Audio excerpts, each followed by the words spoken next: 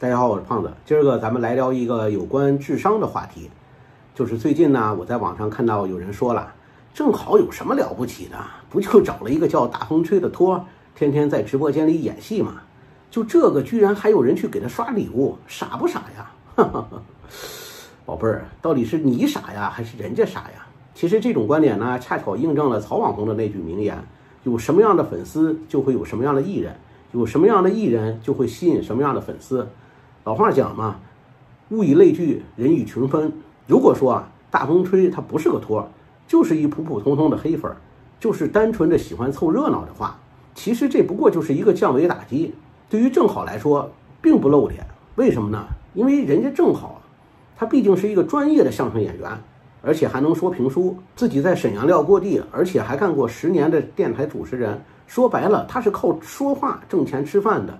如果说他连一个黑粉都接不住，那就别干了，对不对？但是如果这个大风吹他就是个托，正好和大风吹这个互动就是事先准备好的剧本，那就太高了。为什么这么说呢？因为我知道很多人他看不上剧本，他觉得剧本不够高级。其实不然，您各位想一下，舞台上的相声难道不是剧本吗？电影院里的电影难道不是剧本吗？这么说吧，所有的表演艺术都是事先准备好的剧本。只要它效果好，它就是这份的。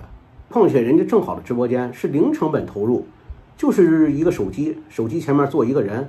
反观曹网红，每次直播都不止一个人吧，旁边还坐着直播运营吧，光是直播的设备就得大几万吧，这我还得给他少说呢。可这直播效果呢，差了一大截儿。如果说正好和大风吹这真是一个剧本的话，话题够新颖，台词有笑点，连续几个月不重复。而且还能吸引大批的新观众，我的天哪！